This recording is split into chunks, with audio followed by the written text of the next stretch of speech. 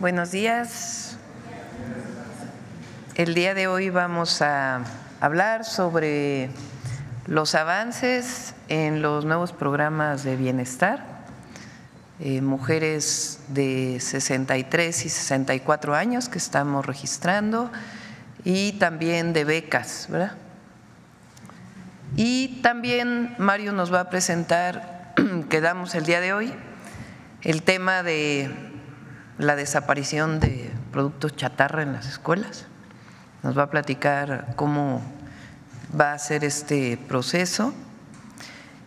Y después eh, Rosa Isela va a hacer un recuento nuevamente de los problemas con el Poder Judicial y vamos a hacer una revisión de nuevo de cómo es que se dio la reforma constitucional al Poder Judicial.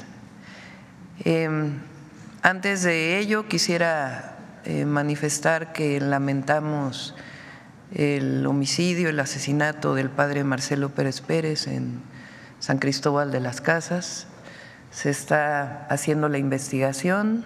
El día de ayer la secretaria de Gobernación estuvo en comunicación tanto con el gobierno estatal como con la diócesis y con las autoridades eclesiales. Y estamos coordinándonos para poder eh, avanzar en la investigación y que este crimen no quede impune. Adelante, eh, secretaria de Bienestar.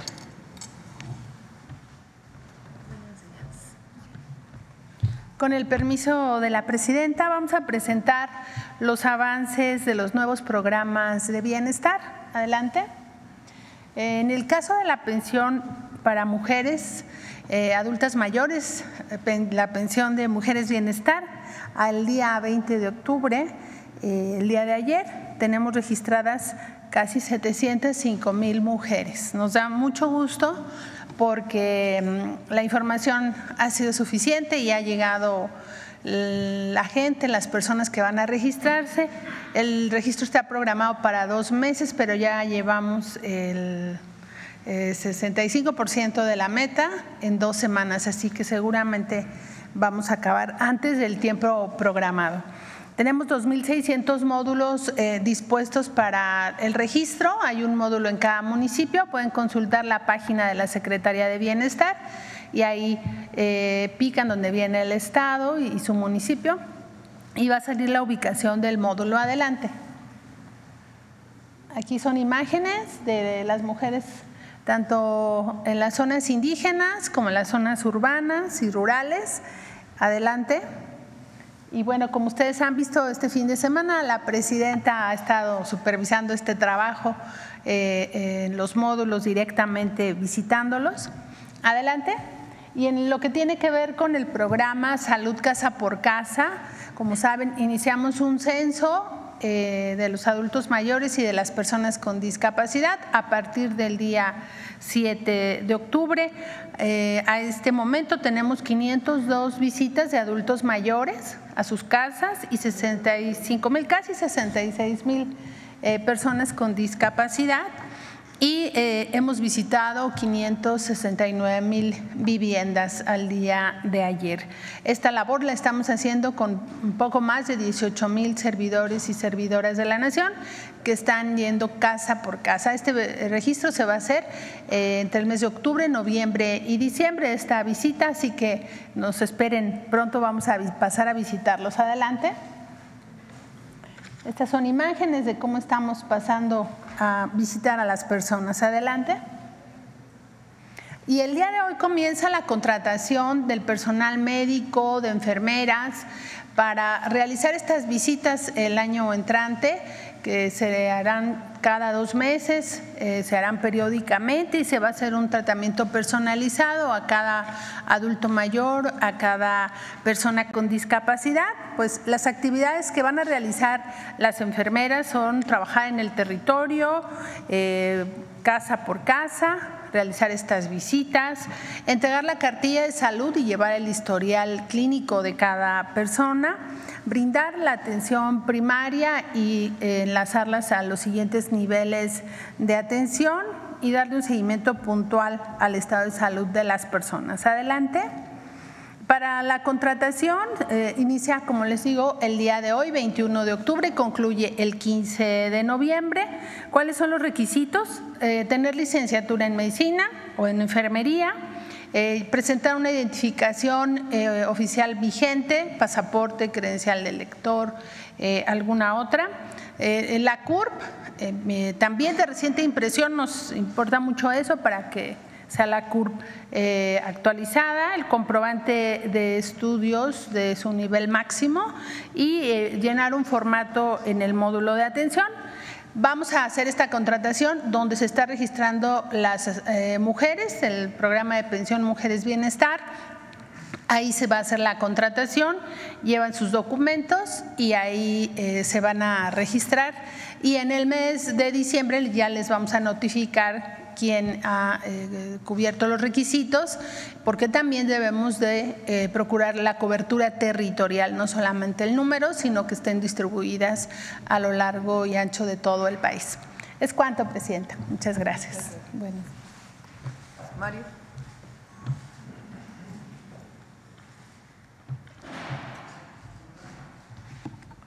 Muchas gracias. Buenos días. Con su permiso, eh, Presidenta, informo rápidamente de cómo vamos con la beca Rita Cetina. Esta semana que terminó, iniciaron las asambleas en las secundarias, realizamos siete mil asambleas en siete mil secundarias diferentes, el universo son 35 mil. La idea es que vayamos a todas las secundarias públicas de aquí al 11 de noviembre, que en esa fecha se va a abrir el registro en línea. En esta semana contactamos a un millón doscientos mil padres de familias y docentes que nos han ayudado a difundir eh, esta beca. A partir del 11 de noviembre se abre el registro en línea hasta el 18 de diciembre para que a partir del 2025 inicie la distribución de las tarjetas y las familias empiecen a recibir el apoyo. El apoyo como lo anunciamos, como lo determinó la presidenta Claudia Sheinbaum, es de 1.900 pesos por familia, más 700 pesos por cada niño que tenga adicional la familia estudiando en básica. Es, son los eh, requisitos, vamos conforme a lo planeado. Bueno, y tal como se comprometió también nuestra presidenta eh, la semana eh, pasada, hoy vamos a informar sobre la estrategia Vida Saludable en las escuelas.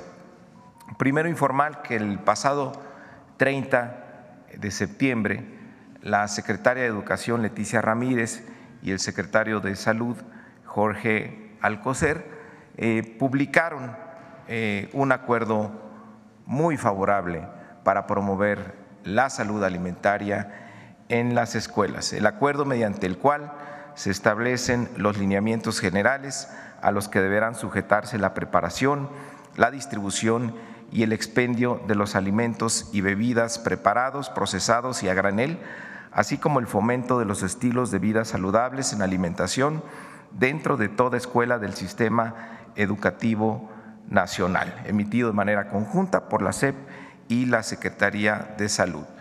Tiene una vigencia de 180 días para entrar en vigor, es decir, el próximo 29 de marzo del 2025 ya será obligatorio para todas las escuelas del sistema educativo nacional, de los tres niveles, básica, media superior y superior. Es decir, se tienen que cumplir en las 258.689 escuelas que hay dentro del sistema educativo eh, nacional.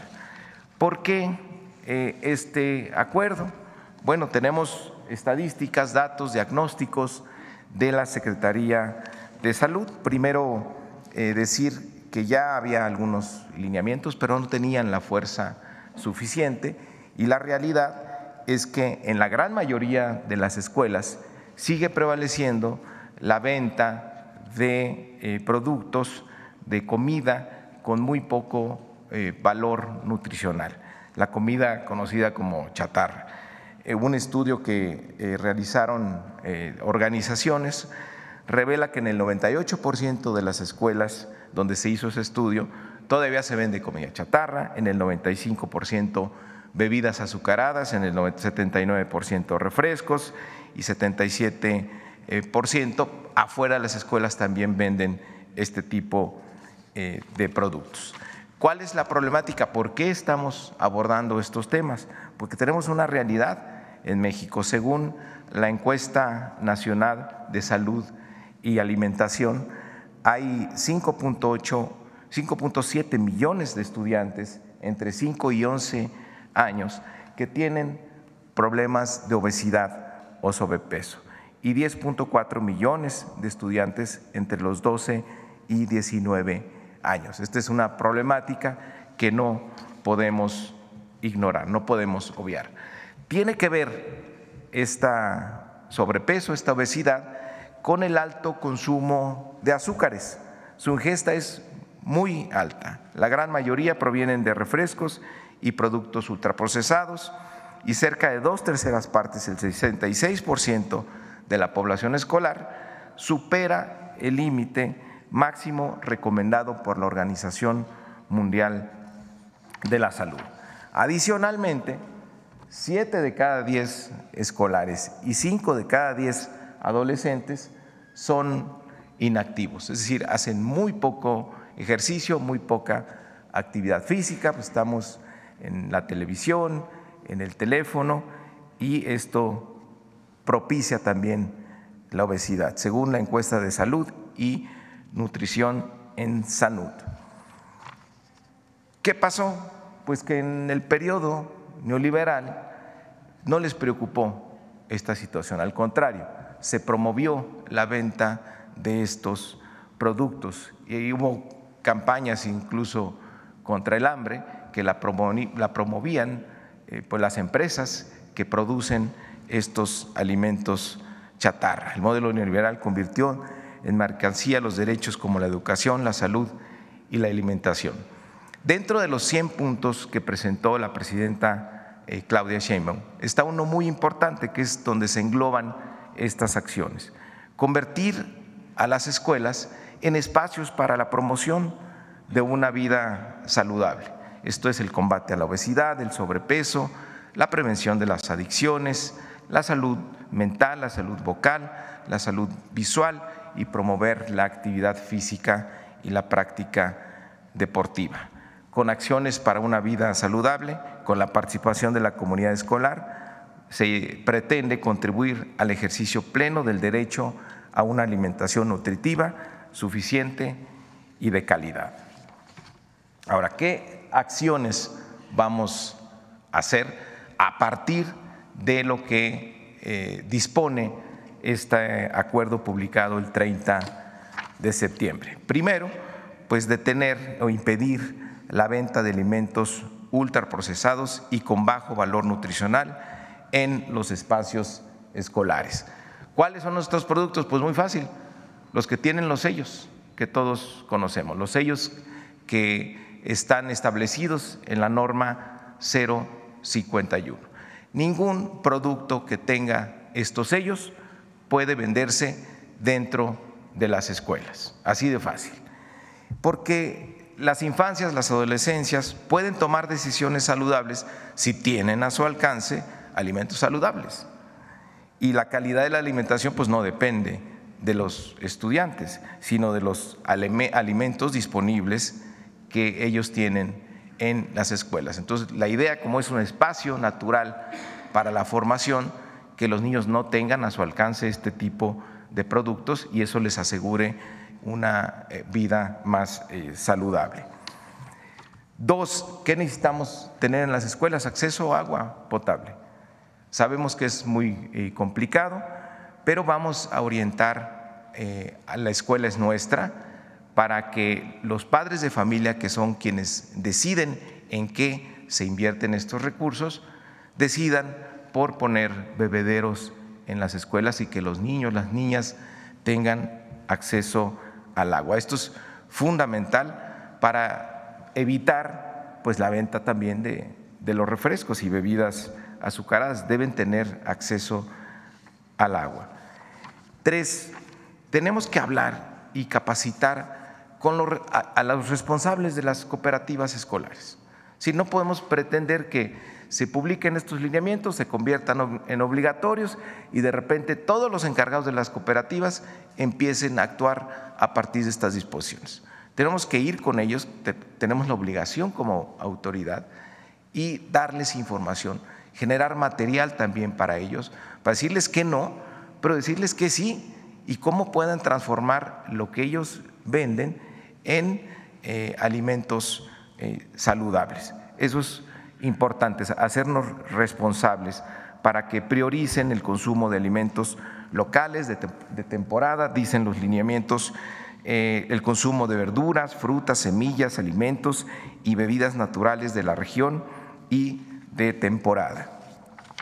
Cuatro, necesitamos información, necesitamos una estrategia de comunicación para quienes, para los maestros, para los padres y madres de familia, tutores, tutoras, por supuesto para los directores de las escuelas y ya dijimos de los responsables de las eh, cooperativas. Información también para los niños y para las niñas, pero tiene que haber una estrategia de comunicación preparada especialmente para cada uno de estos eh, públicos. También la Secretaría de Salud tiene las guías para el buen comer y recetarios de alimentación saludable y económica. Por supuesto que toda la información sobre qué productos y nutrición lo hace la Secretaría de Salud. Entonces tenemos que apostar a generar conciencia en los maestros, en los padres y madres eh, de familia, en quienes venden estos productos en las escuelas y lo más importante, en los niños, en las niñas y en los adolescentes. Eh, tenemos dentro de la escuela mexicana uno de los eh, ejes articuladores, es el de la vida saludable. Es decir, los libros de texto y la nueva escuela mexicana ya tiene contemplado este eje. Entonces ahí les diría que vamos avanzados en ese sentido. Y por último, a los maestros se está haciendo, se tiene listo un diplomado preparado con las autoridades de salud, el IMSS, el ISTE, eh, para que podamos entrar de manera masiva con los maestros con un diplomado y que tengan mucha información al respecto. Eh, también tenemos que promover la actividad y la práctica deportiva en todas las escuelas. La presidenta nos ha pedido que analicemos cómo podemos ir extendiendo el horario para la práctica deportiva y también para la promoción de las artes. Y le vamos a dar, por último, seguimiento a todo lo que hagamos para poder ir midiendo cómo estos eh, lineamientos tienen un impacto en la salud de los niños y las niñas, que es el principal objetivo. Muchísimas gracias.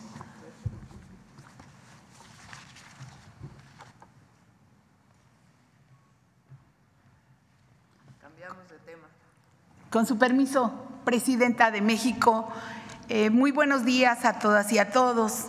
Em, por instrucción de la presidenta Claudia Sheinbaum, presentamos ahora eh, un seguimiento de lo que se ha venido tratando aquí en esta tribuna, hoy los excesos en el Poder Judicial. Decir que integrantes del Poder Judicial de la Federación han emitido resoluciones, la que sigue, y amparos, frenando la aplicación de leyes diseñadas para beneficiar a la sociedad mexicana y garantizar los derechos de la ciudadanía.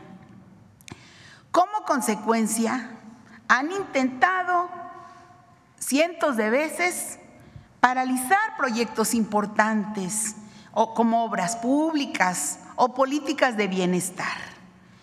También han retrasado la emisión de resoluciones y sentencias, generando impunidad y negando el acceso a la justicia. Adelante.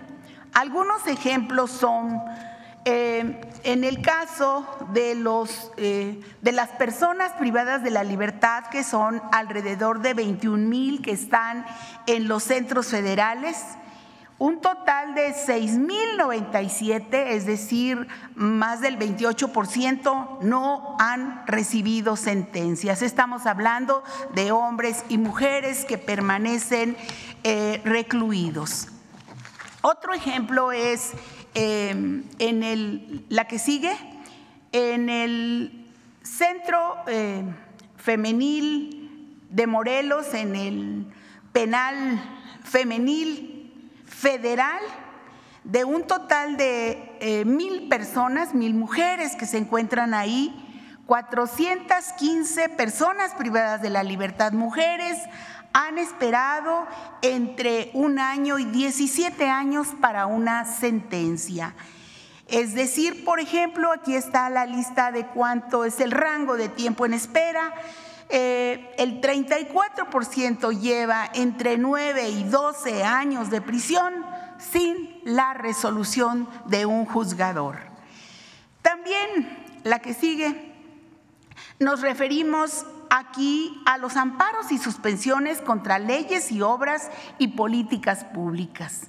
A través de suspensiones, el Poder eh, Judicial ha obstaculizado e impedido la aplicación de algunas leyes, obras y reformas que favorecen al pueblo de México, invadiendo con ello la competencia de poderes. Algunas de las leyes y las suspensiones de amparo vienen en este cuadro. Esta es información de la Consejería Jurídica del Ejecutivo Federal. Por ejemplo, la ley de la industria eléctrica lleva 161 suspensiones de amparo. La ley de la Guardia Nacional, la Guardia Nacional que tanto bien hace a los mexicanos, cinco suspensiones de amparo. La ley de minería, cinco. El Fondo de Pensiones para el Bienestar que eh, apoya, que ayuda a los trabajadores mexicanos, lleva 25 y la extinción de fideicomisos del Poder Judicial de la Federación, 717. Evidentemente otros como los vapeadores que dañan a nuestra juventud, 240 eh, suspensiones de amparo. Otras, adelante, las del tren Maya 2, otras en políticas públicas como los libros de texto gratuitos, su entrega en el periodo 2000 23, 24, 26 suspensiones de amparo, las áreas naturales protegidas 5, supresión de la Junta Federal de Conciliación y Arbitraje 73, conferencias matutinas también. Eh, la parte del derecho a la libertad de expresión 8 y eh, también de, los, eh, de las áreas naturales protegidas. Adelante. La injerencia del Poder Judicial Federal en asuntos electorales. Esto, como ya se ha dicho a ti, aquí hay una ley de amparo que prohíbe la eh, intromisión del Poder Judicial en este em, tema. Sin embargo, en diciembre de 2023, la ministra Norma Piña convocó a una cena privada en la casa del ministro González Alcántara, en la que asistió el dirigente del PRI, Alejandro Moreno, y fueron invitados el coordinador también de campaña de la candidata Xochil Gálvez, Santiago Krill, y los magistrados electorales de la Sala Superior del Tribunal Federal Electoral. En julio de 2024, por ejemplo, otro caso, un juez de distrito ordenó al Tribunal Electoral designar dos magistraturas vacantes para calificar la elección presidencial lo que fue rechazado por la Sala Superior por ser excesivo y violatorio del artículo 99 constitucional. También en agosto de 2024, la ministra Piña admitió un recurso del dirigente del PAN, Marco Cortés, para que la Corte interpretara y definiera los criterios para la asignación de diputaciones plurinominales en el Congreso. Otra, adelante, son los procesos viciados en la selección de jueces, donde se dan venta de exámenes y se ha documentado casos de corrupción al más alto nivel de la escuela judicial, donde se han vendido los exámenes de oposición para jueces en 186 mil pesos. También el tema de los concursos de oposición que han sido impugnados por los propios jueces y los magistrados con frecuencia por la inequidad y el influyentismo y la falta de criterios objetivos, pues solo las personas cercanas a jueces y magistrados resultan vencedoras. Y pues qué decir adelante del tema del nepotismo, donde en diciembre de 2022 el propio Consejo de la Judicatura Federal reveló que la mitad del personal, es decir, el 49% equivalente a 24.546 personas del Poder Judicial, tienen al menos un familiar trabajando dentro de, eh, de este poder. El 85.4% de los magistrados y el 67% de los jueces tienen familiares en el Poder Judicial. Los magistrados tienen en promedio 4.7 familiares trabajando ahí y el 23.7% del personal del Poder Judicial tiene más de cuatro familiares trabajando en esta institución. La persona que acumula más familiares en el Poder Judicial tiene 26 parientes, incluyendo un magistrado, 13 secretarios, dos actuarios y 10 oficiales. Esto de acuerdo a la información oficial del propio Consejo de eh, la Judicatura. En relación con los castigos, las sanciones que tienen. Las actuaciones de funcionarios del Poder Judicial han generado pues inconformidades porque hay quejas y de las cuales en materia de disciplina de 2004 al 2023 se han presentado, por supuesto, algunas eh, por parte del Ejecutivo, del Legislativo o de ciudadanos o de miembros del propio Poder Judicial, 38 mil quejas en contra de servidores públicos. De estas, el 86% fue desechado sin iniciar ninguna investigación. Del resto de las quejas que sí se investigaron, el Consejo de la Judicatura solo sancionó a 472 jueces y magistrados, pero enseguida vienen el tipo de sanciones. Eh, el punto 7.7% del total 0.7% del total recibió un apercibimiento y una amonestación. El 0.2% del total o 0.2% del total recibió una suspensión momentánea. El punto 1 del total, 0.1 del total, recibió una destitución que en muchos de los casos después son eh, con amparos, eh, otra vez eh, regresan a trabajar. Inhabilitaciones, 0.06 del total, que son 23, y sanciones económicas 14, que es el 0.04 de esto y de enero a septiembre de 2023 el Poder Ejecutivo y la Fiscalía General de la República presentaron 72 denuncias contra jueces y magistrados ante el Consejo de la Judicatura Federal, ninguna con sanción.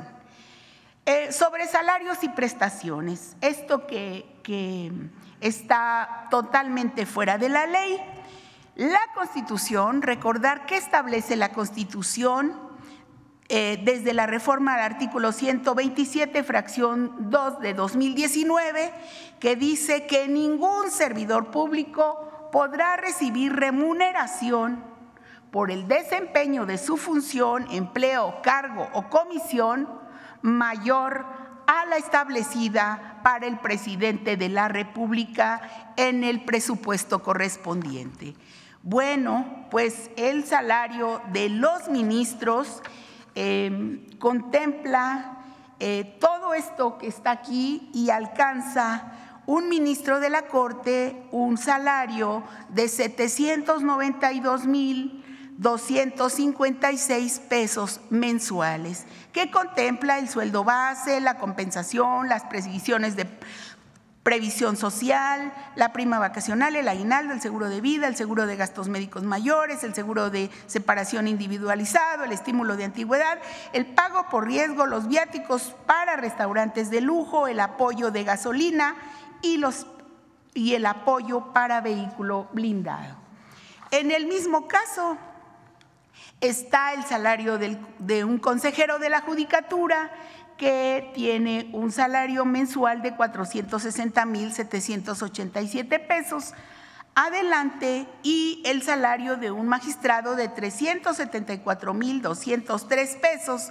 Evidentemente que esto está adelante, el salario de un juez de distrito, eh, del salario mensual de 337.575 pesos. También vamos a ver rápidamente el estatus de audiencias, órdenes de aprehensión y cateos no celebrados ahora que están en el paro judicial. Es pertinente señalar el estatus de eh, todos estos procedimientos no celebrados entre el 20 de agosto y el 30 de septiembre eh, de este año. Como resultado del paro judicial se cancelaron 12.448 audiencias. Hay que decir que todos los empleados del Poder Judicial siguen recibiendo su salario aunque están en paro, pero en tanto este es el déficit que se tienen sobre eh, la celebración de las audiencias. Esta es información de la Fiscalía General de la República aunque se celebraron 31 audiencias, en 16 casos no se emitieron las órdenes de aprehensión correspondientes. Y de las 665 apelaciones pendientes de resolución, el 52% tiene de 4 a 23 meses sin que se haya emitido la sentencia respectiva, pues esto también contribuye a la dilación de los procesos. Ahora, Finalmente los veremos rápidamente. Eh, recordar algunos de los casos más relevantes de los jueces que beneficiaron a delincuentes. El juez Crescencio Contreras Martínez, adscrito al Centro de Justicia Penal Federal en Reynosa, Tamaulipas, liberó a Alberto, un delincuente eh, alias El Quena, esto fue el 25 de enero de 2024, al no decretar la, vinculación a proceso por delitos de delincuencia organizada. Sin embargo, bueno, la Fiscalía General buscó otras eh, sanciones, sigue eh, detenido, pero se ve ahí la intención de ese juez. Otro, pues recordar que el juez Juan José Fernando García Quirós, titular del juzgado octavo de distrito en materia de amparo y juicios federales en el Estado de México, concedió la suspensión de plano a Rafael eh, Caro Quintero para que no fuera extraditado a petición del gobierno estadounidense. Esta es una eh, situación irregular y eh, se hizo la denuncia ante el ante el Consejo de la Judicatura. También está el caso de Conrado Alcalá Romo, titular del tercero juzgado penal en Jalisco, concedió el 27 de febrero de 2024 un amparo en favor de Héctor El Güero Palma, dejando insubsistente el auto de formal prisión dictado por su cuenta y ordenó reponer el procedimiento. El amparo se estima irregular, pues el juzgador subsanó de manera indebida el actuar de la defensa de eh, este delincuente y no tomó en cuenta lo expuesto por el agente del Ministerio Público. Otros casos, pues son los em, tradicionales, porque ya, ya es una tradición que muchos de los jueces el viernes en la noche, el sábado en el día, el domingo, este, otorguen eh, libertad a delincuentes en fines de semana. Este es el caso de la jueza Angélica Sánchez Hernández, jueza de control de juzgado de proceso y procedimiento penal oral en Cosamaloapan, Veracruz. Eh, ella eh, también eh, dio una notificación para que el sábado 3 de junio el Centro Penitenciario Federal diera el egreso de Itiel, alias el Compa Playa. De, él es integrante del cártel Jalisco Nueva Generación y está acusado de homicidio de un diputado local en Veracruz. Em, y dio una hora otorgó una hora como plazo para la liberación, sin embargo, continúa en proceso por otros homicidios. Eh, también el caso del juez Rogelio León Díaz Villarreal, quien dio un plazo de tres horas, tres horas, también un domingo en la mañana, para la liberación de Abraham alias El Rodo, integrante del cártel Jalisco y hermano del líder del cártel Jalisco, acusado de portación de arma de fuego y de delitos contra la salud. Sin embargo, este juez le dio la libertad.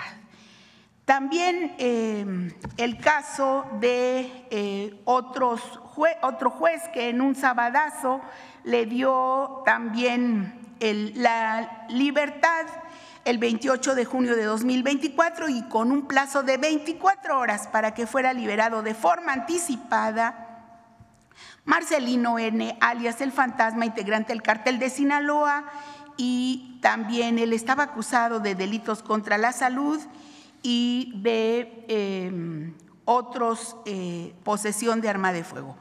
También ha dado cambios de medidas cautelares para mandarlos a domicilio, el, juez Juan Pedro, no, el magistrado Juan Pedro Contreras Navarro del Tribunal Colegiado de Apelación en materia del primer circuito. Él otorgó un amparo a Emilio N para mandarlo a su domicilio, a pesar de eh, todos los delitos. También el mismo caso para Francisco Javier ex, ex gobernador de Tamaulipas, señalado por vínculos con eh, la delincuencia organizada y operaciones de recursos de procedencia ilícita.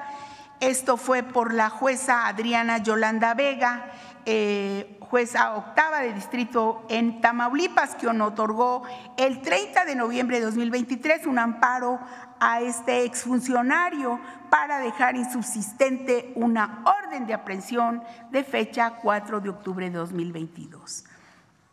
También está el caso, el caso, del magistrado del noveno tribunal colegiado en materia penal del primer circuito.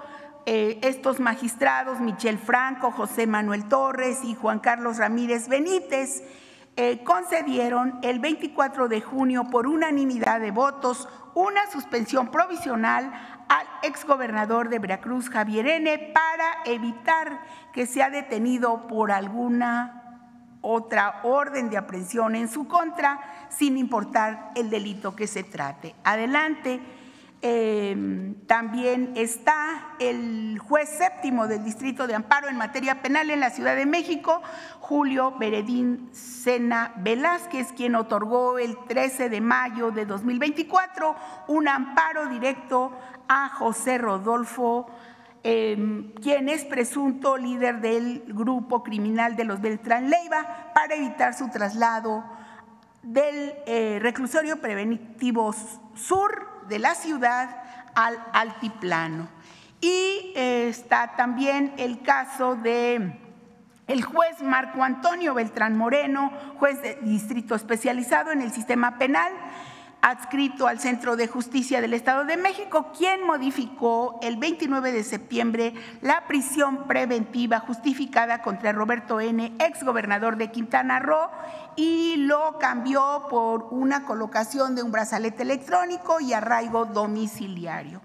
También está finalmente el caso de eh, Rubén. Eh, los, los, magistrados Rubén Arturo Sánchez Valencia y Luis Alberto Castro Velázquez, magistrados del primer tribunal del eh, colegiado en materia penal del segundo circuito en el Estado de México, quienes votaron el 15 de noviembre de 2023 a favor de otorgar un amparo a José Luis em, N., expresidente municipal de Iguala, Guerrero, para que se le dictaran otras medidas cautelares distintas a la prisión preventiva oficiosa. Sin embargo, pues él eh, continúa en, prisión eh, por otras causas. También pues está el tema de la jueza séptima de distrito en materia administrativa de la Ciudad de México, María Isabel Bernal Hernández, quien otorgó el 2 de octubre una suspensión definitiva a favor de Tomás para que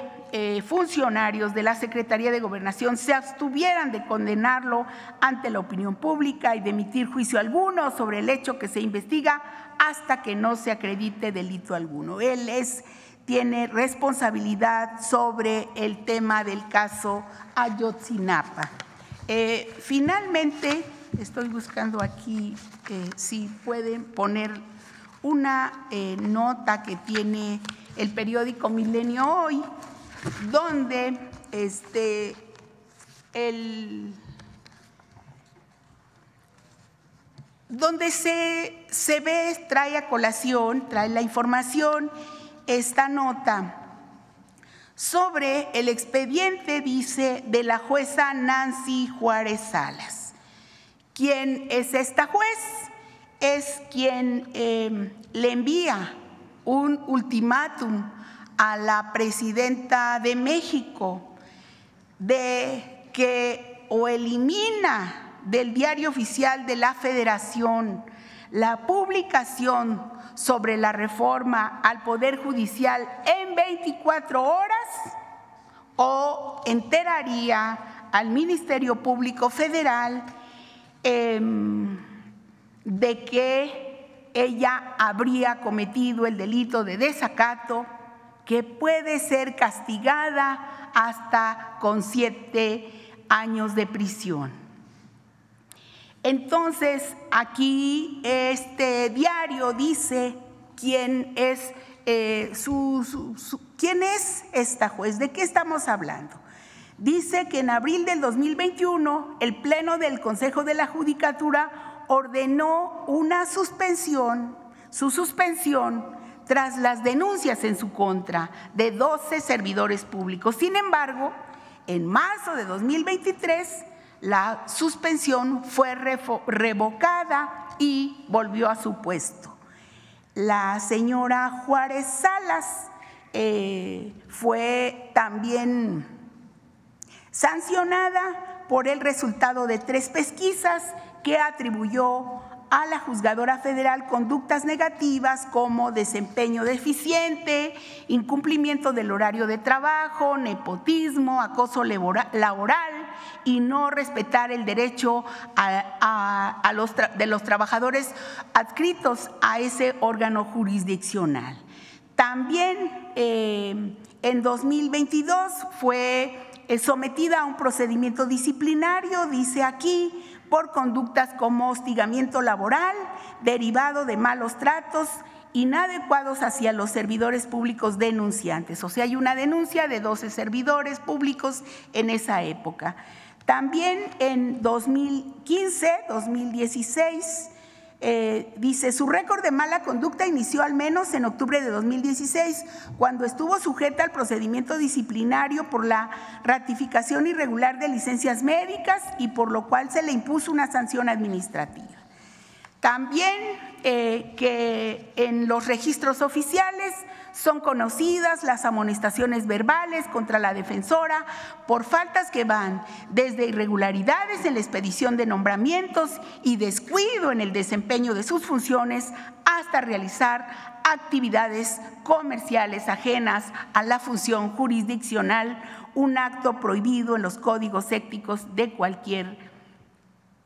Pese a todo, pese a todos sus registros, Em, esta jueza adscrita al juzgado décimo noveno al distrito en Coatzacoalcos, Veracruz, sigue em, denunciando a la presidenta y porque ella cumple con la ley. ¿Sería cuánto, Presidenta?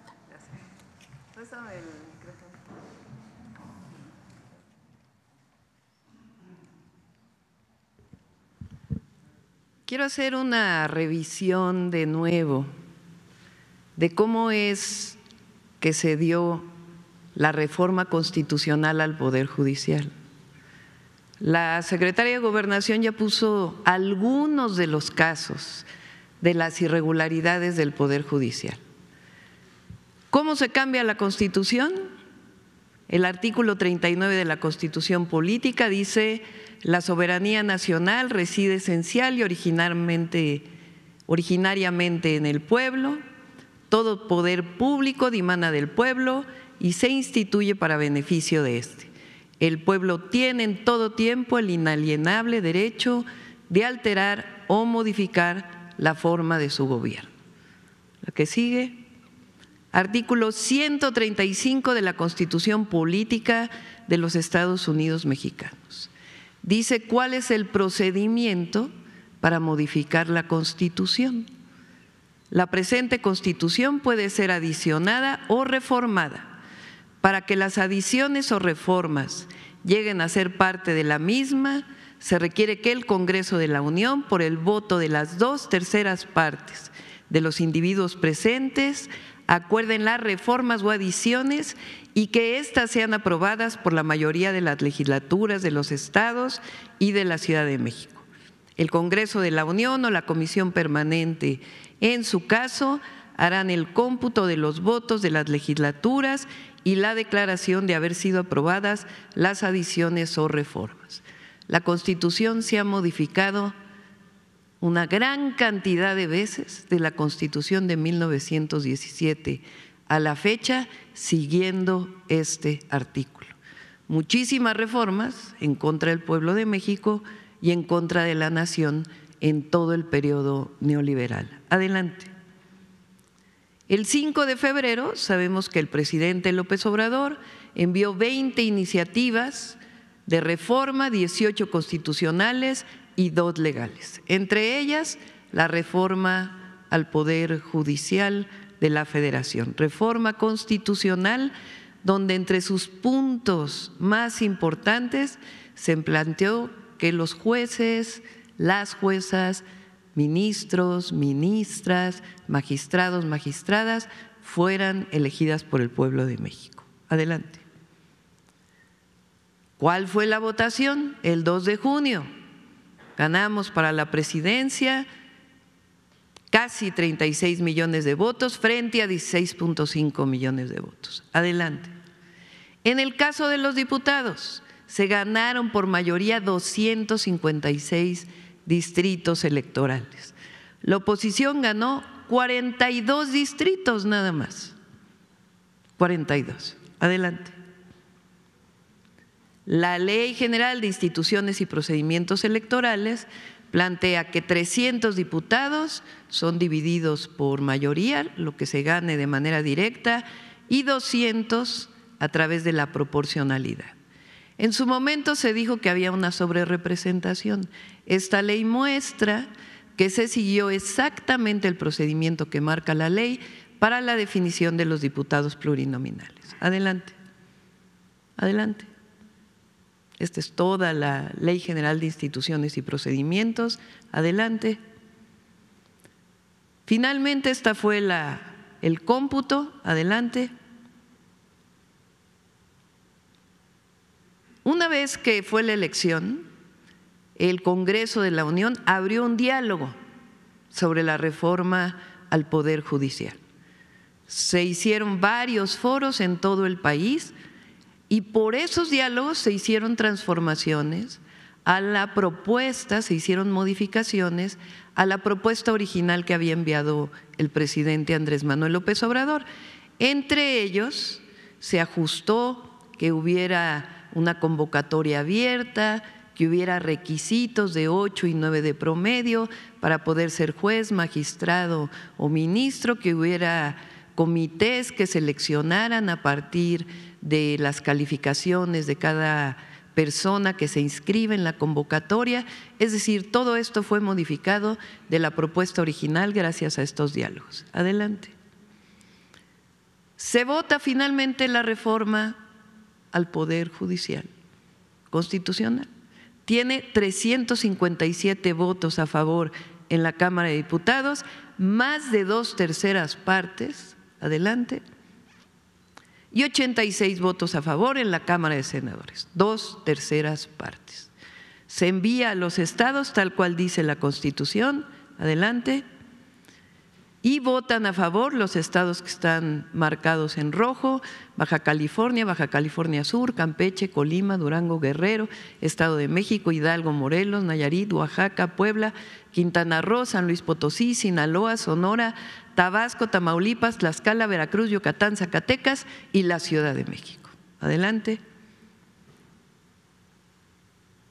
Adelante. Si recuerdan, el 15 de septiembre es publicada la reforma al Poder Judicial. En agosto, la mayoría de los jueces, magistrados, se van a paro.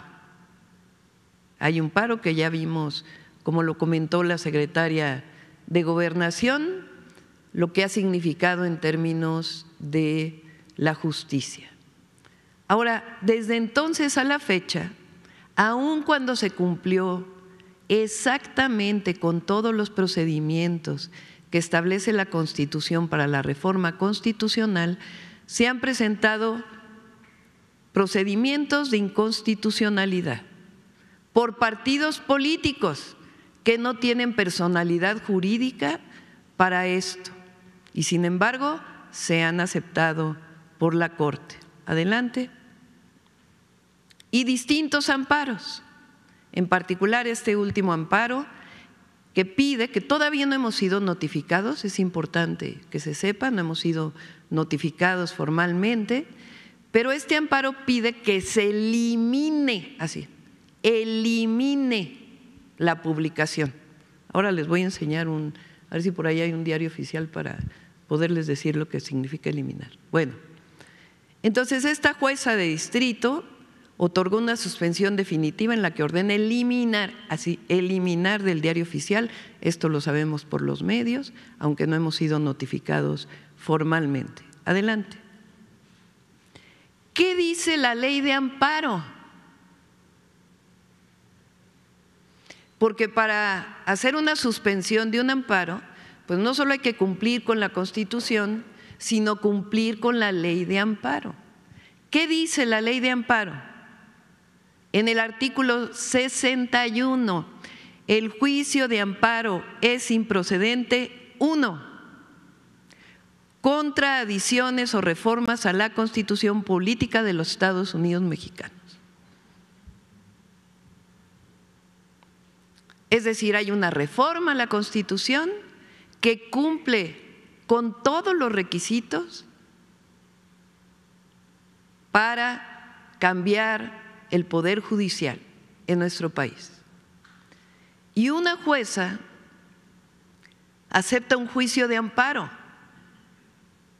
y emite una resolución de una suspensión para eliminar, imagínense ustedes, hice una consulta a través de la Consejería Jurídica a quien está a cargo del Diario Oficial de la Federación, nunca se había recibido en 30 años al menos que tiene esta persona en el diario oficial una notificación para eliminar. ¿Qué quiere decir eliminar?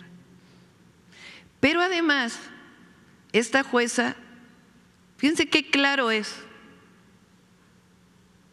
no puede haber juicio de amparo. El juicio de amparo es improcedente con todas sus letras, contradicciones o reformas a la constitución política de los Estados Unidos mexicanos. Entonces, bueno, ya están diciendo que estoy en desacato, que, eh, bueno, hasta de violencia política de género me acusaron. ¿Por qué? Porque fíjense lo claro que es. Entonces, ¿qué decimos? Pues vamos a notificar a quien sanciona a los jueces, porque es claro y notorio que se está violando la ley de amparo.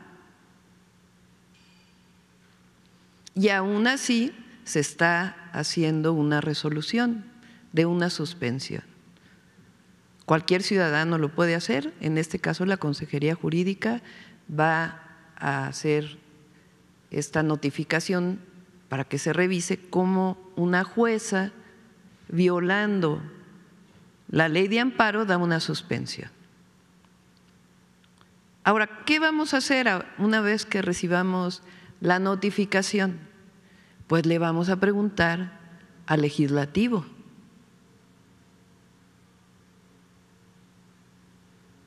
Porque cuando envíe el legislativo al entonces presidente Andrés Manuel López Obrador la reforma constitucional, dice publíquese en el diario oficial de la Federación.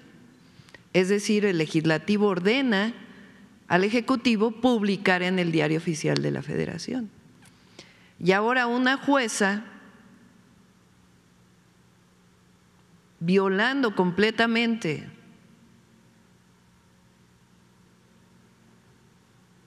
Esta es la, reforma. Violando completamente la ley de amparo, regrésale a la ley de amparo, por artículo 61. El juicio de amparo es improcedente, contradicciones o reformas a la constitución política de los Estados Unidos mexicanos. Pide que se elimine. ¿Qué quiere decir eliminar si está publicado? Que se rompa. Porque hay publicaciones en físico. ¿Qué quieren? Que se rompa que se borre. ¿Qué quiere decir eliminar? Vamos a esperar la notificación. Pero en el momento que se reciba la notificación, pues lo que va a hacer la Consejería Jurídica es enviar al H Congreso de la Unión una pregunta. ¿Es factible que una jueza pida esto? dado que ustedes ordenaron que se publicara en el diario oficial de la Federación? Para ver qué nos contesta el legislativo. Pero si ustedes se dan cuenta, es totalmente irregular. Son los propios jueces, juezas, magistrados, ministros, ministras, que están defendiendo sus propios privilegios frente a una decisión del pueblo de México que dijo, votamos para que haya mayoría calificada para que se pueda modificar la constitución. Entonces es muy importante que quienes nos escuchan, nos ven, quien esté en desacato es la jueza o son quienes aceptan recursos de inconstitucionalidad cuando no hay personalidad jurídica de quien los pone. Entonces nosotros estamos actuando conforme a derecho.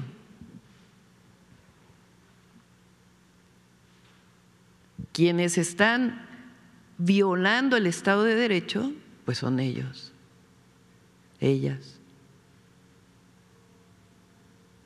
¿O qué a poco no es claro el artículo 61? Es clarísimo. Entonces es importante hacer este recuento, porque es muy fácil decir, la presidenta está en desacato. No, no estamos en desacato. Y para ello vamos a preguntar a quién nos ordenó publicar en el diario oficial de la Federación.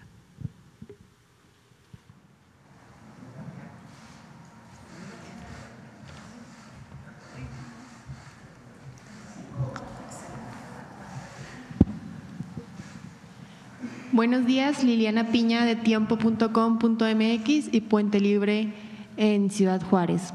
Presidente, retomando un poco el tema del padre que fue asesinado en San Cristóbal de las Casas en Chiapas, preguntarle, este tema se tocó en la mesa de seguridad y qué reporte le dieron, eh, que ah, van a dar pronto con los responsables y si se sabe, se tiene claro cuál pudo ser el móvil del caso y también si va a pedir a la Fiscalía General de la República que atraiga el caso. Sí, el día de hoy eh, desde ayer, eh, en el momento en que ocurrió, de inmediato me informó la secretaria de Gobernación y el secretario de Seguridad Ciudadana. Eh, le pedí a Rosa Isela que estuviera en contacto con el gobernador, con las autoridades eclesiales. Por supuesto, lamentamos este hecho y no podemos especular. Eh, necesitamos que se hagan las investigaciones. Hoy el secretario de Seguridad Ciudadana está en contacto con el gobernador y vamos a ver si eh, atrae el caso a la Fiscalía General o se queda en el Estado. Pero eh, necesitamos pues hacer la investigación, que las autoridades, que la Fiscalía haga la investigación y colaborar y coadyuvar en todo lo que se requiera. ¿Y cuál es el mensaje que le envía a la población de Chiapas, además de los jesuitas y conferencistas del episcolado? Sí, estamos trabajando en dos áreas en Chiapas, como en todo el país. Em, Chiapas cambia de gobernador en diciembre. Eh, hay tres estados que no modificaron sus constituciones para el cambio de gobierno, ajustándose al cambio presidencial son Veracruz, Puebla y Chiapas. Entonces estamos trabajando tanto con el actual gobernador como con el gobernador entrante, Eduardo Ramírez, em, y Rutilio Escandón. Entonces se está trabajando con ellos en dos áreas. Uno, eh, una intervención social de apoyo, de atención a las causas, y por otro lado, pues de investigación e inteligencia para poder hacer las detenciones. Entonces, se está trabajando en ese estado como en otros. Muchas gracias. En otro tema, Presidenta, ayer la Fiscalía dio a conocer que Héctor Melicio Cuen fue asesinado en el rancho, en donde secuestraron a Ismael El Mayo Zambada, esto el pasado 25 de julio. preguntarle, Presidenta, si insistirá a Estados Unidos sobre el informe del caso y si se realizará una colaboración también con Estados Unidos para la investigación y también saber si van a iniciar investigaciones del gobernador o si ya dio una declaración. Le corresponde a la Fiscalía General de la República. Ellos eh, también con apoyo de eh, las instituciones del Ejecutivo cuando se solicita, hacen esta investigación y hacen este hallazgo, de inmediato lo comunican y la Fiscalía General de la República sigue haciendo sus investigaciones. Y ahí hay autonomía y tiene que seguirlas haciendo. Eh, por otro lado, eh, sigue pues la petición al gobierno de Estados Unidos para que se informe cómo fue esta detención. Esa solicitud sigue. ¿Ha tenido un contacto actualmente después de esa investigación con el gobernador? Sí, hay contacto como con los 31 gobernadores y la jefa de gobierno en los temas institucionales que hay que tratar. Y por último, Presidenta, los magistrados y jueces del Poder Judicial desde hoy darán una conferencia matutina en el mismo horario de su conferencia, saber cuál es su opinión al respecto. Gracias. Pues están en su derecho. Valdría la pena saber por qué están en paro y siguen cobrando sus salarios. es, es algo relevante. Son más de 13 mil casos que están parados. Entonces, si están en paro, ¿por qué siguen percibiendo salarios?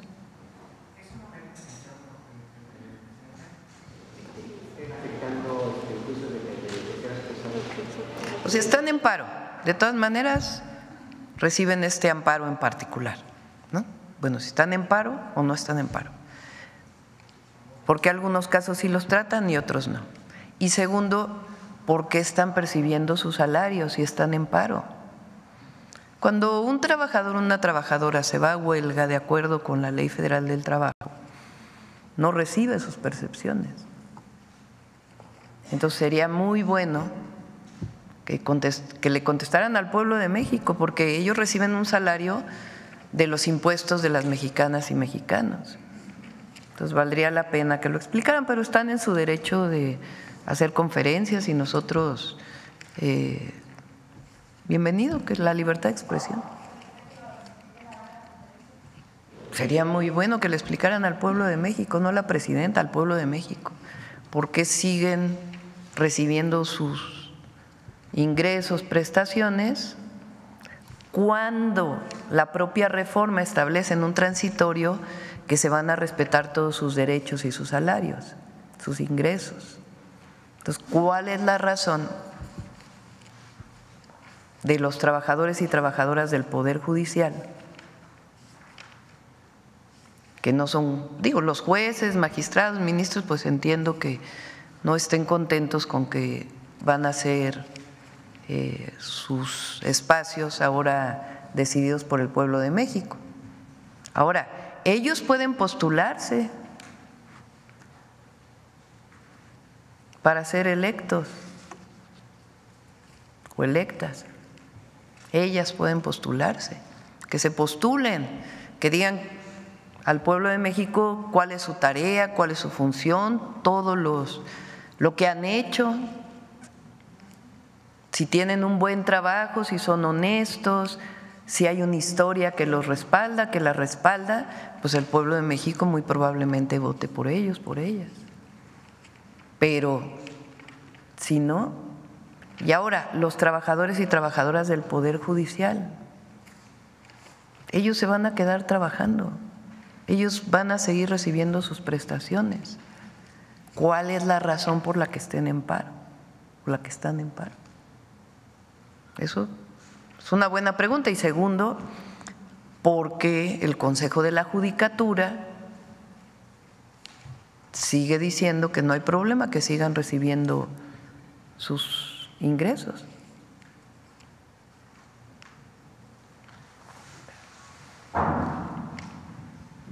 Gracias, Presidenta. Muy buenos días a todas y a todos. Liliana Noble de Pulso Saludable. Eh, eh, sobre esta reforma en las escuelas, Presidenta, ¿qué va a pasar si mamá o papá deciden enviarle un lunch no saludable que contiene estos ingredientes críticos que le llaman los expertos a las niñas, los niños, los adolescentes? y lo come ahí en el, en el salón o en la hora del recreo.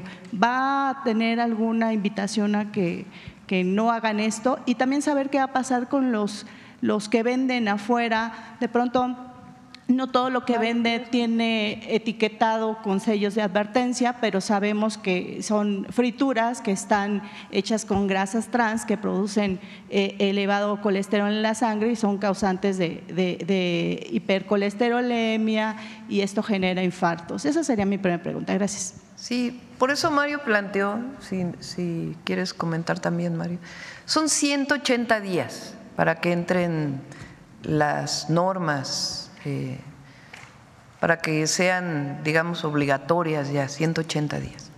¿Qué se va a hacer en este proceso? Pues un proceso educativo, de formación, de capacitación, de información, de tal manera que en las cooperativas de las escuelas se conozca. Es mucho mejor comer un taco de frijoles que una bolsa de papas. Es mucho mejor un agua de Jamaica eh, que un refresco. Tiene mucho azúcar, tienen, eh, hace daño a la salud. Entonces lo importante es que haya la educación para que sea en la escuela y en el hogar. Por eso los lunes son de vida saludable. Em, entonces no es que se vaya a sancionar al papá o la mamá, pero en la medida que eduquemos, capacitemos, formemos, pues los papás y las mamás no van a enviar comida chatarra a los niños al mediodía y lo que se vende en las cooperativas pues va a ser comida saludable. Gracias, Presidenta. Y eh, como segundo cuestionamiento, el, día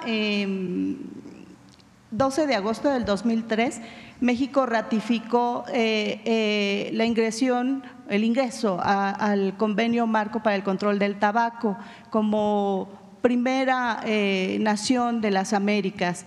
Después, en el, 31 de mayo del 2022, el, presidente, el expresidente Andrés Manuel López Obrador, por decreto, dijo que se prohibía la comercialización, la publicidad de los productos de tabaco calentado, de los vapeadores, de los cigarros electrónicos. Eh, en febrero pasado, en Panamá, eh, México fue aplaudido de pie por eh, ser uno de los países que más apego tienen al convenio marco para el control del tabaco. es un país que está haciendo punta de lanza junto con Brasil y también Panamá. Yo quisiera conocer qué se está haciendo al respecto. El decreto o, la reforma número 9 de vapeadores y fentanilos habla explícitamente de esto, pero también quisiera saber qué, hará su gobierno, Presidenta. Primero, saber si los pictogramas van a mejorar, van a cambiar en las cajetillas, si ya van a ser completos o cómo va a ser este asunto. Y en segundo, hay una, un nuevo producto emergente que sacó la industria, no estoy en contra de ninguna empresa, pero eh, eh, no hacen productos que, generen bien a la salud y se llaman bolsas de nicotina. Es como estos bolsitas que nos dan en los restaurantes que contienen sal, más o menos algo así, y los, los jóvenes eh, la utilizan con el dedo, se la ponen directamente en las encías, esto con la finalidad de suplir un, efecto del tabaco. Eh, ellos le llaman que es la transición. Ya no uses tabaco, ahora usa un cigarro electrónico, un vapeador o usa una bolsa de nicotina. Y dicen los expertos que cualquier producto que contenga nicotina no es compatible con la vida.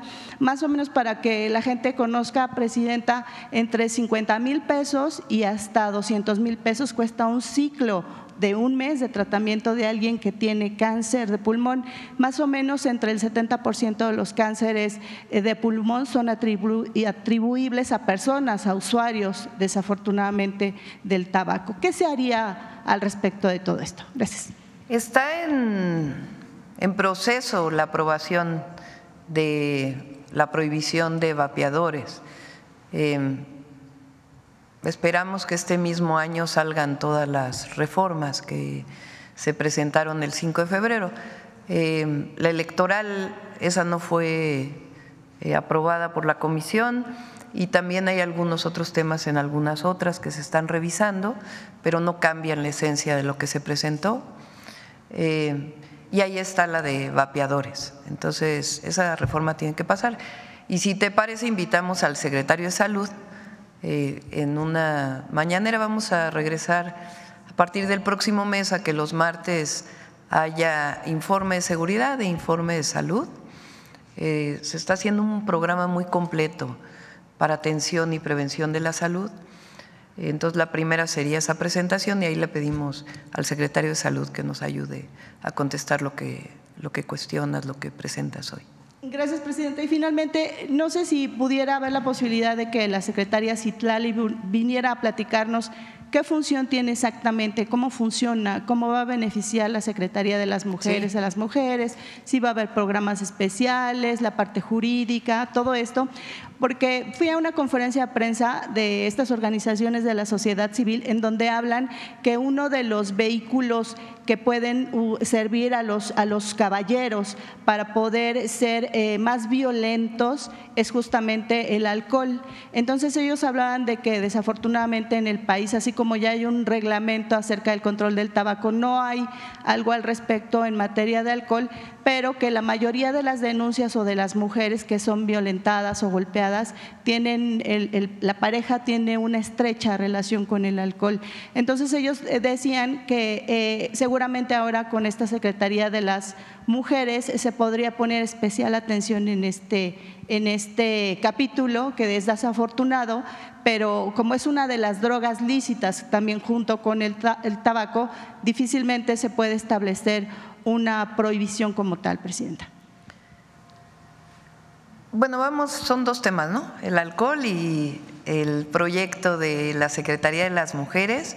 Si recuerdan, estuvo aquí Citlali cuando se presentaron las modificaciones constitucionales, la propuesta de modificaciones constitucionales y legales para apoyo y protección de las mujeres y para eh, que quede en la Constitución el derecho a la igualdad sustantiva.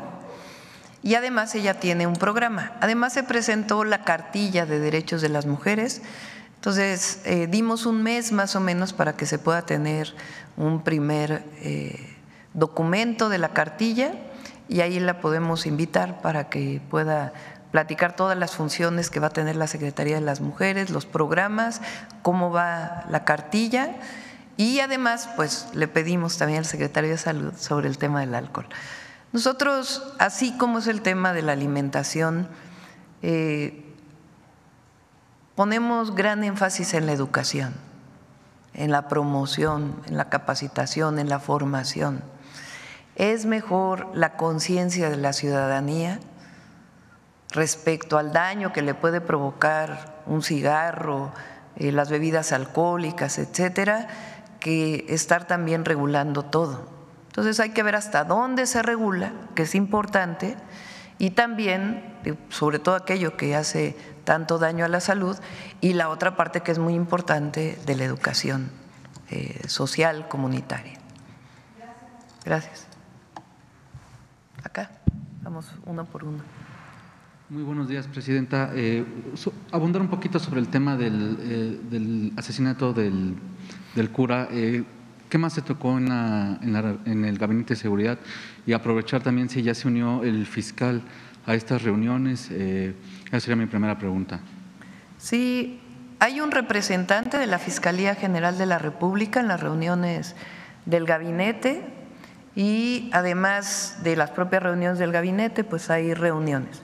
Recuerden que nosotros respetamos la autonomía de la Fiscalía pues eso no significa que no haya coordinación para la detención de delincuentes.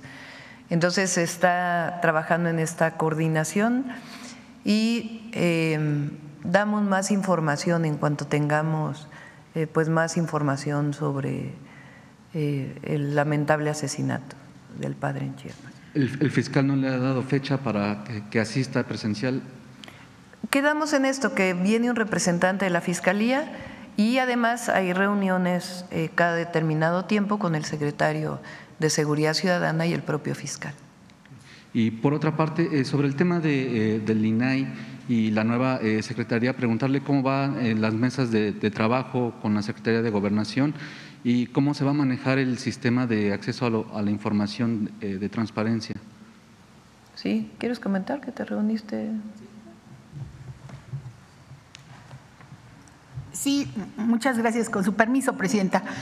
Pues recibimos eh, a los comisionados, a las comisionadas, al comisionado y comisionadas, este, y hablamos con ellos, les escuchamos los planteamientos que tienen sobre ellos eh, saben claramente que la reforma sobre los organismos autónomos, va hacia adelante.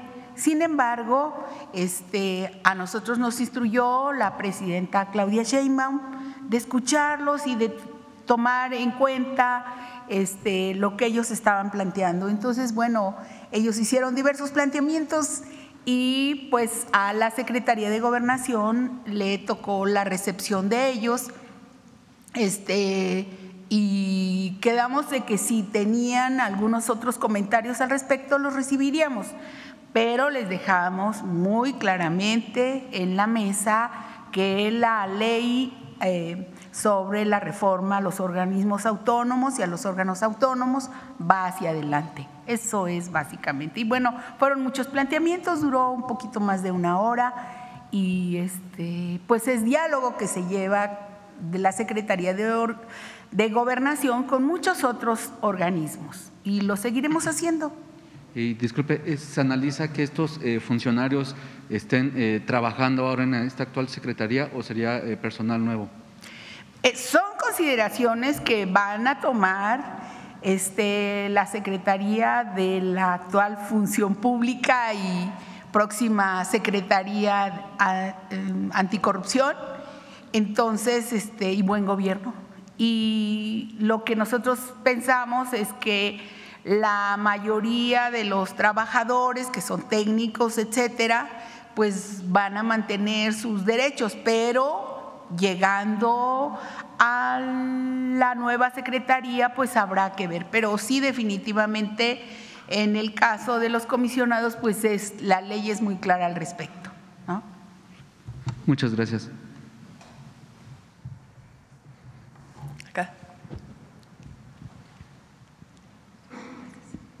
Buenos días, Presidenta, funcionarios. Adriana Estela Flores del Instituto Mexicano de la Radio.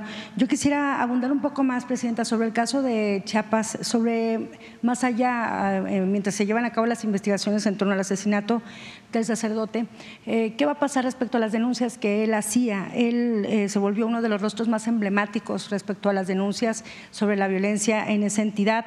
Él había hablado y denunciado el desplazamiento forzado de comunidades indígenas, también el surgimiento de grupos de autodefensa defensa, también eh, el desprecio sobre todo del gobernador de Chiapas. Él decía que el gobierno no solo no hace nada, sino que sistemáticamente eh, eh, pues niega la existencia de esta violencia y señalaba que con esta violencia que se vive en Chiapas ya no se aguanta.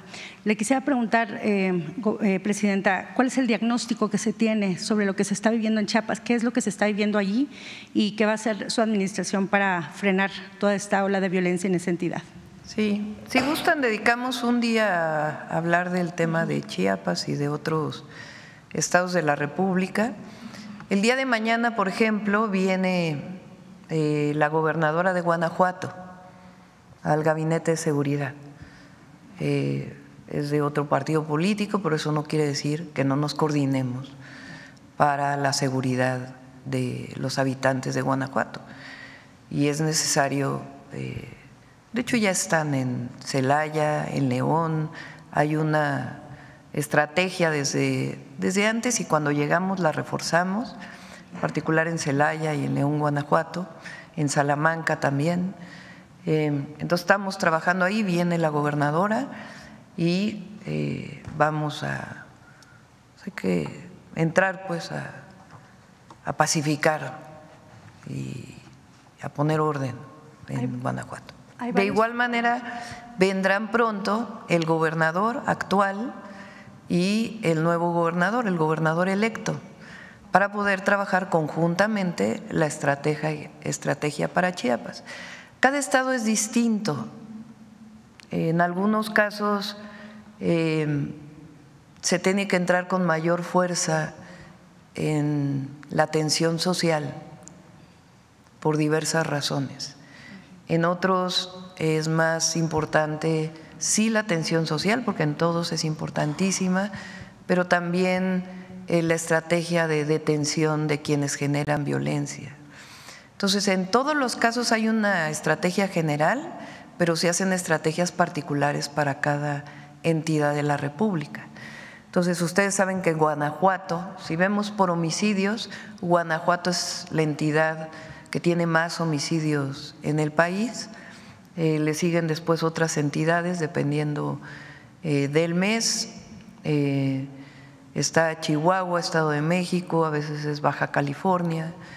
y estamos trabajando. Ya vino la gobernadora de Baja California y se está haciendo una estrategia que no es que de un día a otro se pueda resolver, pero hay una estrategia que se va a notar en poco tiempo. Eh, entonces, lo mismo es para Chiapas. Y en ese caso, eh, si nos permiten que podamos un día, cuando venga el gabinete de seguridad, platicar qué se está haciendo y cómo se va a proteger a la ciudadanía en Chiapas. Presidenta, y si me permite sobre este tema que ya estaban denunciando aquí en este momento, sobre la actuación del Poder Judicial para frenar eh, políticas, leyes y otras acciones o proyectos de infraestructura de su administración. Em, usted eh, hace días, hace varias conferencias, eh, expresaba su respaldo al presidente de Colombia, Gustavo Petro, ante lo que él consideraba o llamó como un golpe de Estado en su contra, luego de que se activó esta investigación por parte de las autoridades electorales de Colombia respecto a unas, una situación respecto a sus gastos de campaña.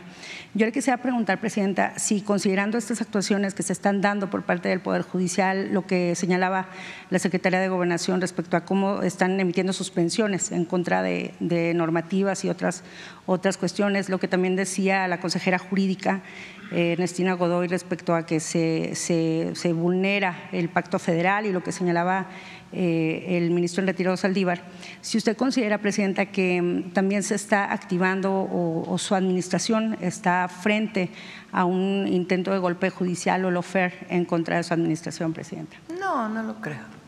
Son resistencias de jueces, juezas, magistrados, magistradas frente o ministros, ministras frente a la reforma.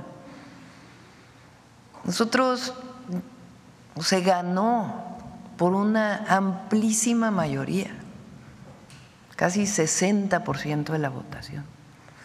Eso permitió que hubiera una mayoría calificada en la Cámara de Diputados, en la Cámara de Senadores y que la mayoría de los congresos locales hayan aprobado el cambio constitucional. Ellos tienen resistencia porque no quieren dejar pues, el puesto que tienen. Pero ya hay un cambio constitucional. Lo que desde nuestra perspectiva no está bien es que desde la propia Corte o los propios jueces violen las leyes que son tan claras. O sea, se está queriendo poner que la presidenta está en desacato, cuando los primeros que están violando las leyes y vulnerando el Estado de Derecho son los propios jueces, juezas.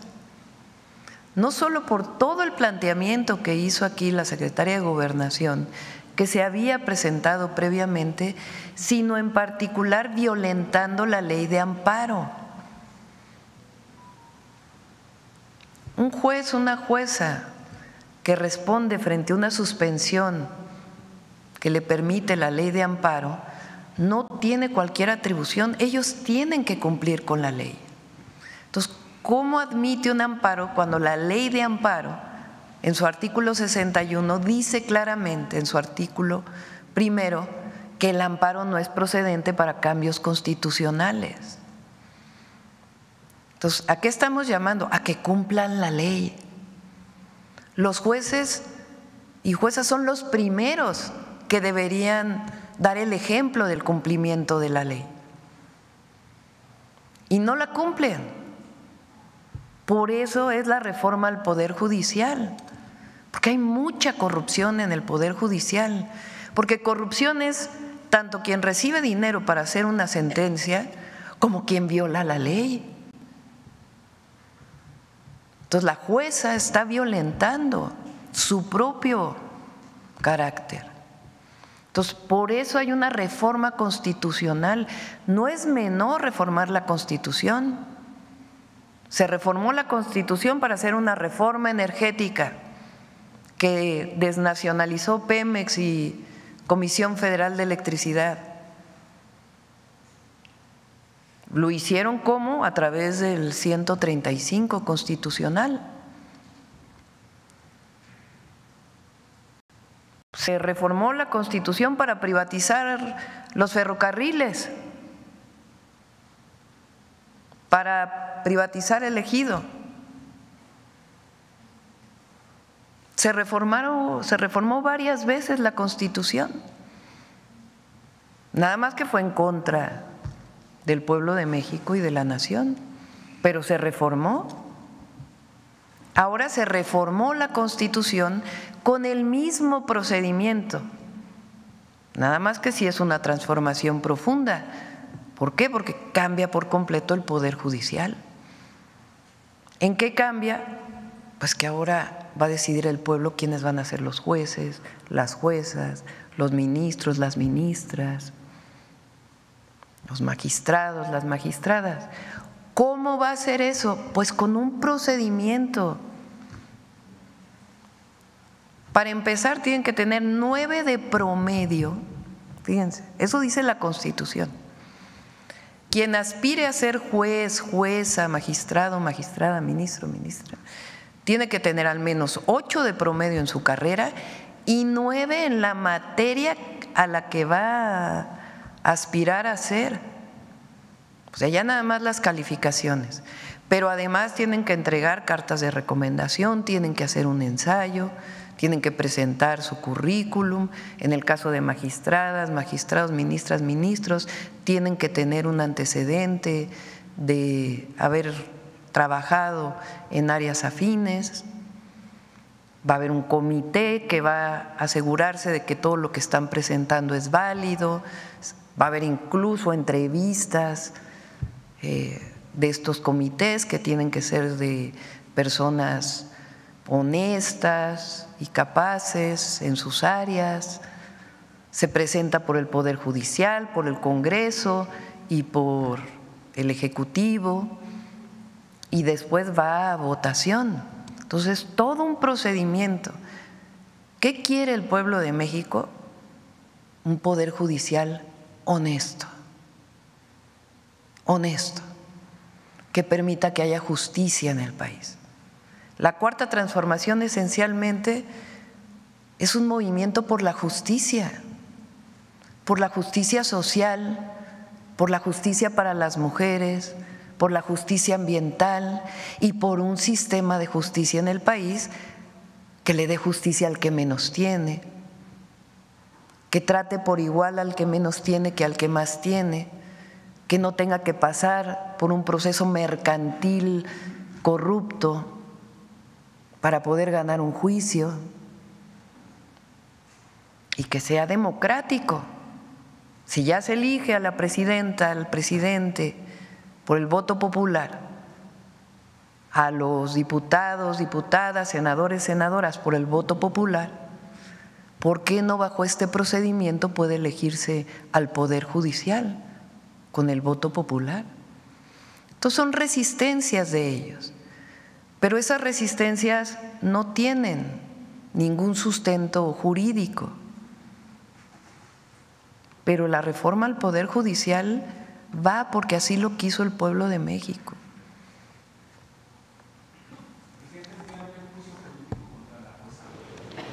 Sí, pero nosotros no nos vamos a meter en ello. No, no es, no, no se trata de eso. Ahora, si ponemos una queja en el Consejo de la Judicatura. ¿Por qué? Porque desde nuestro punto de vista, además es público y notorio con lo que presente, pues no está en sus funciones esta suspensión. Entonces, que lo analice el Consejo de la Judicatura. Eso es todo. Pero no vamos a entrar nosotros a juicios políticos y ¿qué queremos todas y todos los mexicanos? Pues que avance este proceso. Ya quien no estuvo incluso a favor de la reforma al Poder Judicial, una persona como Diego Valadez, que es reconocido por mucha gente como un constitucionalista, nosotros pues tenemos nuestras diferencias con él, pero ya dijo, ya pasó, Vámonos a lo que sigue y que se haga bien y lo vamos a hacer bien entre todas y todos. A ver, la última, porque ya son nueve y veinte, casi veinte. Gracias. Mariana Madrid de Albavisión. Eh, Presidenta, retomando un poquito lo que dijo la Fiscalía General ayer sobre el caso de Héctor Cuen, ¿no eh, sería necesario pues urgir una reforma a las fiscalías para evitar la corrupción, para evitar que se repita una situación así? Vamos por el Poder Judicial y después eh, se analizarán fiscalías, juzgados cívicos, em, todo el sistema de justicia en nuestro país. Pero vamos primero por lo primero. Y bueno, respecto a las conferencias que van a hacer los jueces, pues la primera ya empezó hace un rato y pues fue el ministro Juan José Olvera que le está pidiendo tiempo y si me permite leer tal cual, la postura que tiene la presidencia de la República y los legisladores es ilegítima, ellos no tienen la última palabra, no son los jueces, hay que dar tiempo a los procesos judiciales. ¿Cuál sería su postura a esta primera declaración de la conferencia de los jueces? Ya hubo una reforma constitucional ya es parte de la Constitución.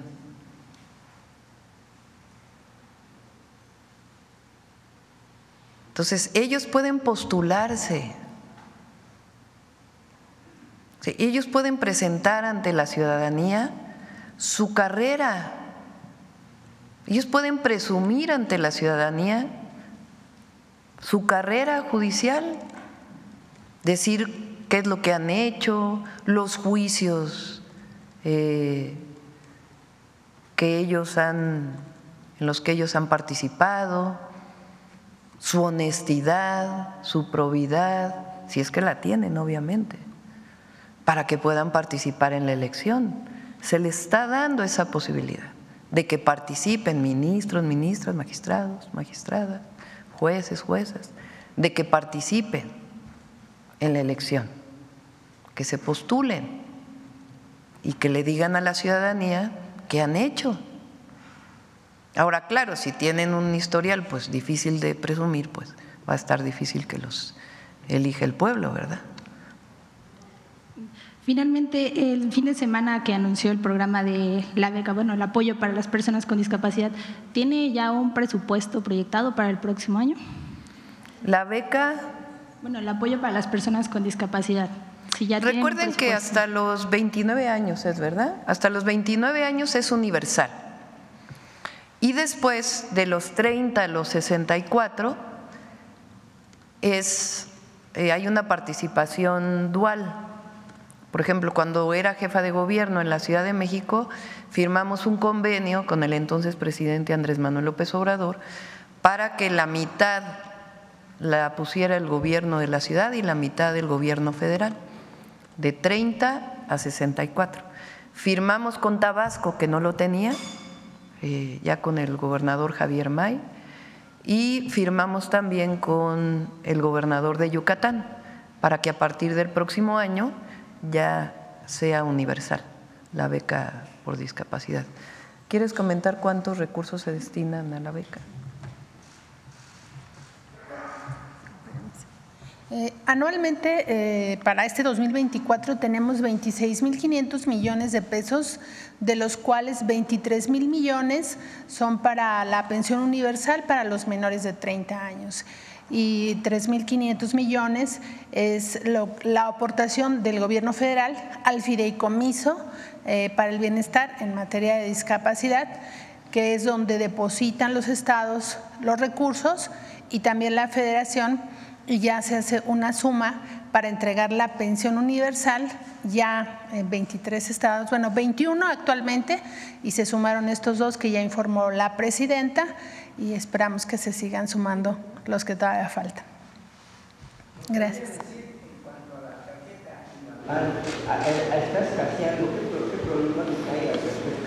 No tengo el reporte de que escasee, está, la tarjeta hace tiempo que por el contrario estamos eh, haciendo el trámite a través de los módulos de la Secretaría de Bienestar antes se hacían 100 mil credenciales al año, hoy estamos haciendo, ya estamos llegando a 4 millones eh, de personas que tienen ya la credencial de INAPAM desde hace dos años que ya lo tomamos en la Secretaría de Bienestar.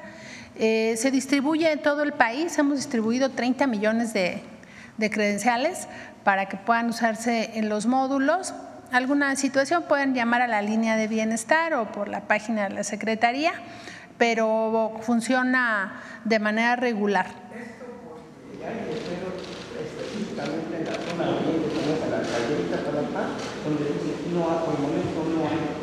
Bueno, lo vamos a revisar, pero eh, es un trámite muy regular que además buscan mucho las personas adultas mayores porque les ofrecen descuentos, les ayuda para su economía. Con Gracias. Bueno, vamos a cerrar. Eh, fue el Día Internacional contra el Cáncer de Mama o de Atención al Cáncer de Mama y vamos a pasar una cápsula sobre este importantísimo tema.